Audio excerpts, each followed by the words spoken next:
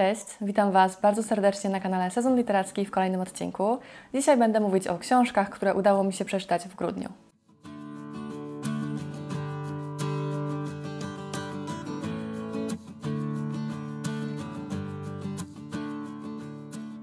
Miałam na grudzień duże plany, co zresztą mogliście zobaczyć w moim rapapie, nie rapapie, TBR-ze na grudzień, e, który nagrywałam jakiś czas temu.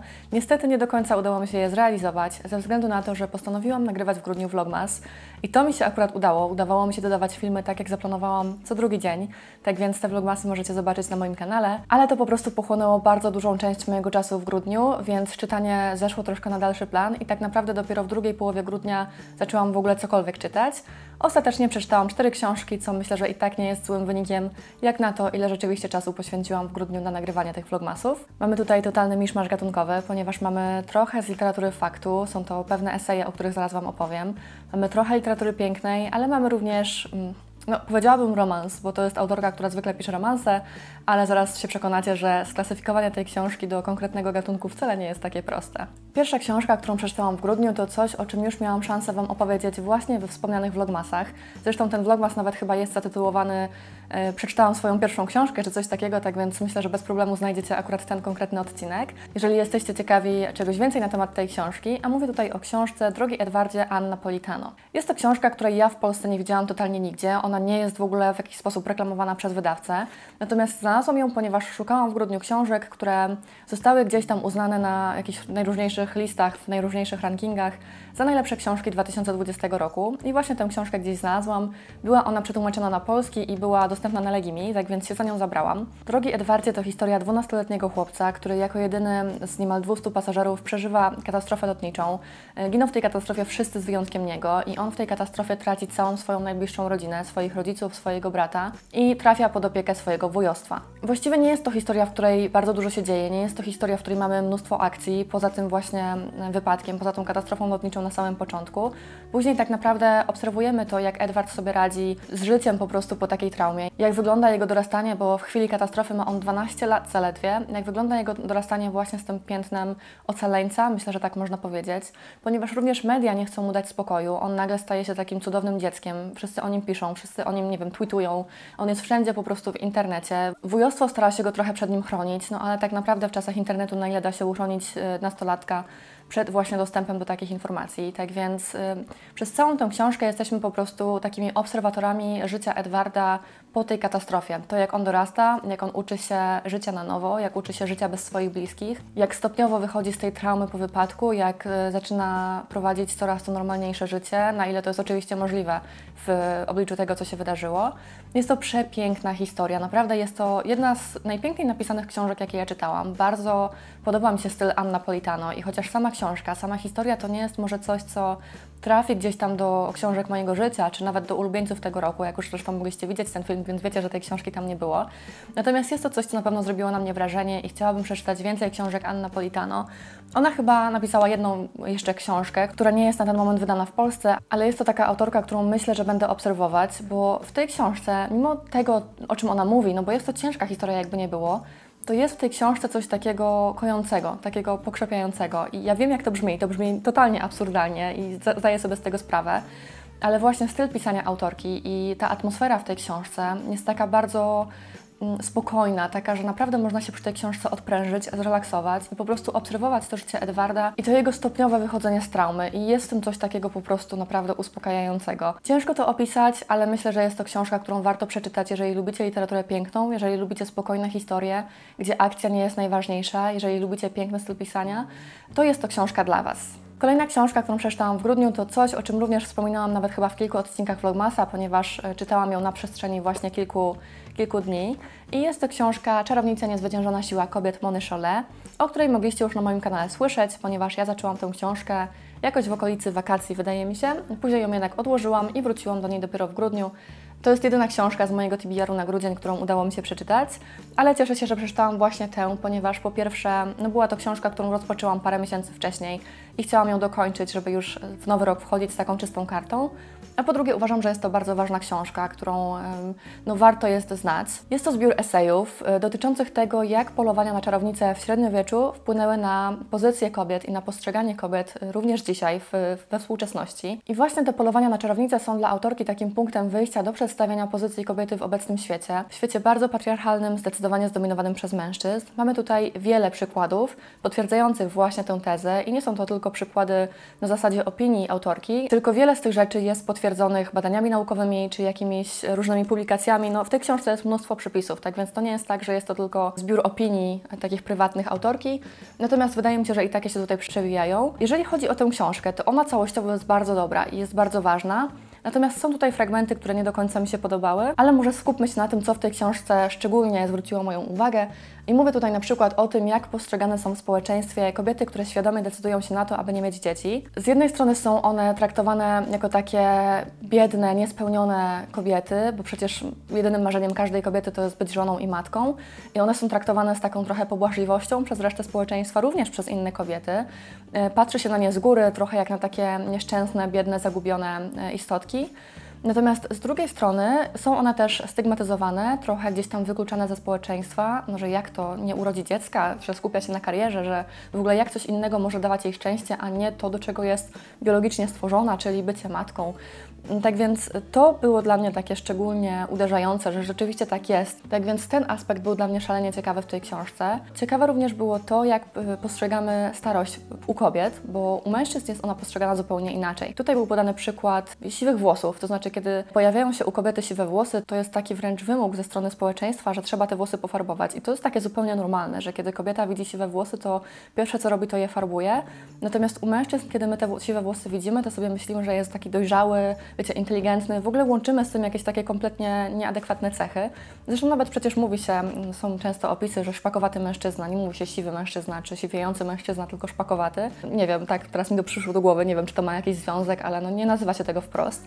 Tak więc ta starość u kobiet jest postrzegana zupełnie inaczej. Zresztą widać to w ogóle w przemyśle kosmetycznym bardzo wyraźnie, gdzie wszelkie kremy przeciwzmarszczkowe, właśnie jakieś y, liftingujące, no wiecie, wszystko, co ma zapobiegać naturalnemu procesowi starzenia się, jest skierowane do kobiet. To nie jest skierowane w ogóle do mężczyzn, więc ta starość u kobiet jest postrzegana jako coś złego, natomiast starość u mężczyzn jest czymś totalnie normalnym. Autorka również bardzo mocno tutaj nawiązuje do popkultury, do wielu filmów. Y, mówi o tym, że dzisiejsza kinematografia jest y, zdominowana przez mężczyzn i w związku z tym jest nastawiona na męskiego odbiorcę. Ja rozmawiałam o tej książce z koleżanką i ona powiedziała mi, że gdzieś był jakiś test. Muszę w sumie jej zapytać o szczegóły, mogłam to zrobić przed tym filmem. W każdym razie podobno robiono jakiś test, gdzie w różnych filmach sprawdzano sceny, w których pojawiają się wyłącznie kobiety pod kątem tego, o czym one rozmawiają. I praktycznie w większości filmów sceny, w których pojawiają się wyłącznie kobiety, ich rozmowy dotyczą mężczyzn, związków, tego typu rzeczy. One nie rozmawiają w filmach o niczym innym i jest bardzo niewiele filmów, które prezentują kobiety w ogóle w innym świetle. Tak więc polecam Wam tę książkę, żeby po prostu zgłębić temat, bo to jest książka, która zahacza o wszelkie bolączki współczesnego feminizmu. To jest książka również dla osób, które myślą, że feminizm w dzisiejszych czasach nie jest potrzebny,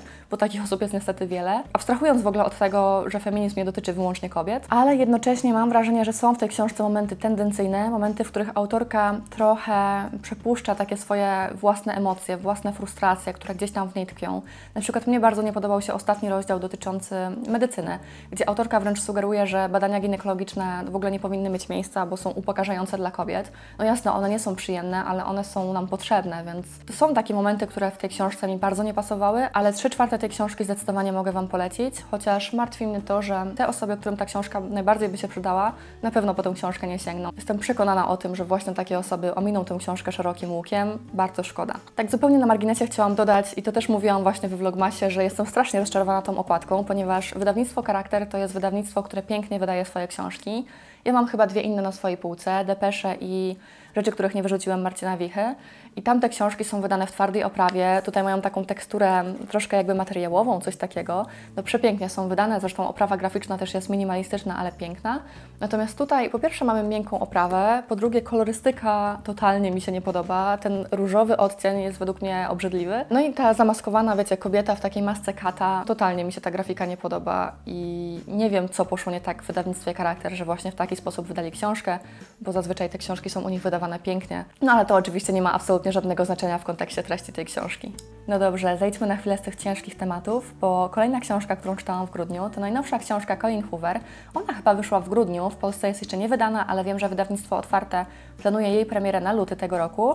A mówię tutaj o książce Laila, Colin Hoover. Nie wiem, czy w ogóle to widać. Ja tutaj mam okładkę na Kindle, ale pewnie się odbija lampa, więc może po prostu go odłożę i Wam jak zawsze wkleję tutaj okładkę z boku. Natomiast jeżeli chodzi o tę książkę, to ja po nią sięgnęłam, bo ja generalnie lubię Colin Hoover. Ja wiem, że to nie jest może obiektywnie dobra autorka, wiem, że wiele osób ma jej sporo do zarzucenia i ja się zgadzam z tymi zarzutami. To znaczy, ja się zgadzam z tym, że te jej książki to jest e, odgrzewany kotlet, to jest ciągle to samo. Chociaż właśnie dwie ostatnie książki pokazują, że Colin Hoover jednak próbuje czegoś nowego. Idzie chyba trochę śladami swojej przyjaciółki Teren Fisher, bo i Verity i Laila mają, e, noszą znamiona takiego trochę thrillera, chociaż tutaj w ogóle idziemy w fantastykę, ale no nie mogę Wam za dużo powiedzieć, żeby za dużo Wam nie zdradzić. Natomiast e, krótko mówiąc, Laila to jest historia dwójki ludzi, e, dwójki młodych ludzi, którzy poznają się na weselu siostry głównej bohaterki. Łączy ich totalnie, wiecie, szybkie uczucie, oni od razu wiedzą, że chcą ze sobą spędzić resztę życia, bla bla bla, znamy to z innych książek Colin Hoover. No ale kiedy żyją tym swoim takim wymarzonym życiem, tam chyba po dwóch miesiącach mieszkania wspólnego w ogóle, wiecie, znają się dwa miesiące, mieszkają razem, spędzają razem każdą chwilę, generalnie raj e, zakochanych, Zdarza się okropny wypadek. Oboje zostają postrzeleni. W ogóle główni bohaterowie to Liz i Laila bo może nie będę mówić ciągle główny bohater, główna bohaterka, tylko będę się posługiwać jednak imionami. I o ile rana Litsa jest taka dosyć powierzchowna, on szybko z tego wychodzi, tak Laila dostaje postrzał w głowę i przeżywa ten wypadek, natomiast nie jest po nim do końca sobą, to znaczy cierpi na amnezję. Ciężko jej sobie przypomnieć niektóre właśnie fragmenty z życia. No i cierpi przede wszystkim na ogromną traumę po tym wypadku i y, ma ataki paniki. No, generalnie bardzo jest jej ciężko się pozbierać po tym, co się wydarzyło. I Litz, chcąc jej pomóc trochę się uspokoić, uspokoić, trochę może wrócić do tej jej dawnej natury, zabiera ją w miejsce, w którym się poznali, czyli w miejsce, w którym odbywało się wesele siostry Laili, z nadzieją, że tam po prostu odżyją gdzieś te wspomnienia, że Laila się zrelaksuje. Natomiast to, co dzieje się w miejscu, do którego docierają, to jest już po prostu kosmos. To jest taki kosmos, że ja czytałam tą książkę i nie wiedziałam po prostu, co ja czytam. Nie mogę Wam tego powiedzieć, no bo to będzie po prostu zbyt duży spoiler, ale dzieją się tam takie rzeczy, dzieją się tam rzeczy.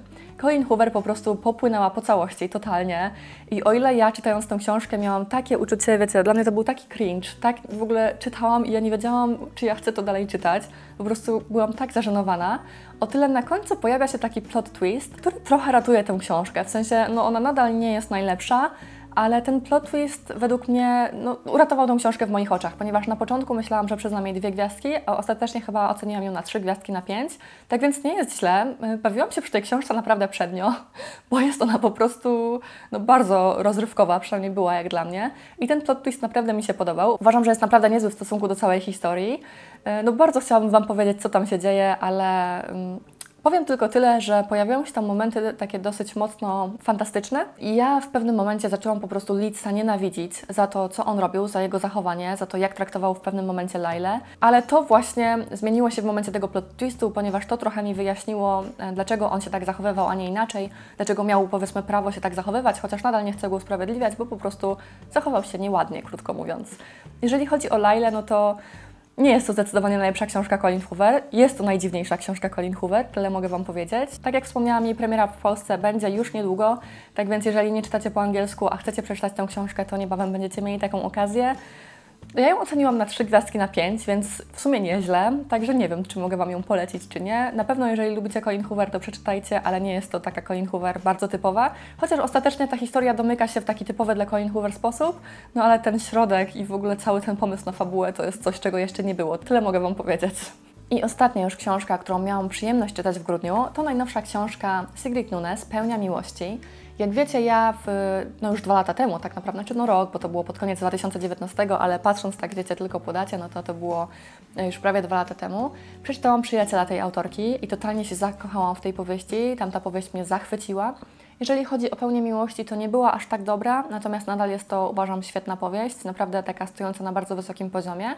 No ale nie tak dobra jak przyjaciel, to muszę podkreślić. Ciężko tak naprawdę streścić, o czym jest pełnia miłości, ponieważ e, podobnie jak w przyjacielu, nie mamy tutaj takiej jednej wyraźnej linii fabularnej, tylko mamy raczej takie strzępki rozmów, tutaj akurat rozmów, które wplatają różne wątki do tej książki, ale ostatecznie one wszystkie oscylują wokół takiej potrzeby bycia wysłuchanym, potrzeby, zrozumienia, potrzeby bliskości. Tutaj akurat mamy kobietę, która jedzie, aby odsłuchać wykład swojego byłego męża. Swoją drogą te wykłady są świetne, to znaczy one są takie bardzo przerażające, bardzo dosadne. Dotyczą zmian klimatycznych, tego jak człowiek niszczy po prostu planetę i co nas czeka w niedalekiej przyszłości. I jest to powiedziane totalnie bez owijania w bawełnę. Ja tutaj nawet mam zaznaczone fragmenty, te na czerwono to są właśnie te fragmenty dotyczące e, tych wykładów. Na przykład w ogóle pierwszy cytat. E, tutaj ten wykładowca, który wygłasza wykład przed salą pełną studentów, mówi: To już koniec, powtórzył. Nie ma wiary i pocieszenia, które podtrzymywały kolejne pokolenia, złudzenia, że choć czas pojedynczego człowieka na Ziemi dobiegnie końca, to, co kochaliśmy i co miało dla nas znaczenie, będzie trwało. Świat, którego byliśmy częścią, przetrwa. Ten czas również dobiegł końca. Nasz świat i nasza cywilizacja nie przetrwają. Tak więc, jak widzicie, bardzo optymistyczne są te jego wykłady, no ale ma facet rację, więc jakby no, to, że po prostu mówi to zupełnie bez ogródek, to nie zmienia faktu, że jest to prawda.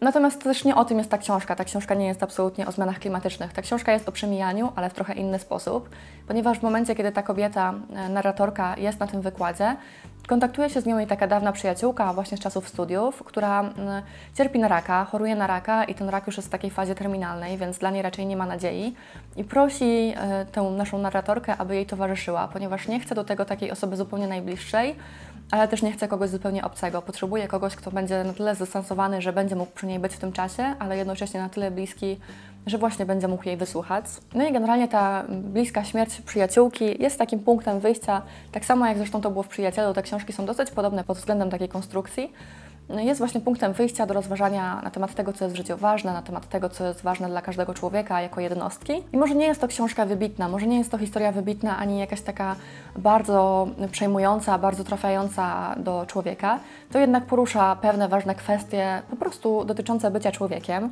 Jest pięknie napisana, zresztą tak samo jak w Przyjacielu. Dla mnie Sigrid Nunes to jest y, autorka, która jest odkryciem y, ostatnich lat. Ona naprawdę pisze w sposób piękny o rzeczach takich przyziemnych i nie inaczej właśnie było w pełni miłości. Tak więc bardzo gorąco Wam polecam w ogóle zapoznanie się z tą autorką. Zaznaczam jednak, że według mnie Przyjaciele z książką lepszą niż Pełnia Miłości, co nie zmienia faktu, że Pełnia Miłości to również bardzo, bardzo dobra literatura. No i to by było na tyle, jeżeli chodzi o książki, które udało mi się przeczytać w grudniu. Dajcie koniecznie znać, co wyczytaliście w ostatnim miesiącu 2020 roku. Czy jakaś przeczytana, wiecie, tak rzutem na taśmę książka trafiła jeszcze do Waszej topki najlepszych książek minionego roku. Widzimy się już niebawem w najgorszych książkach 2020 roku. Tak myślę, że ten film pojawi się jako następny. Tak więc do zobaczenia chyba w najbliższą środę. Dziękuję Wam bardzo za oglądanie. Cześć!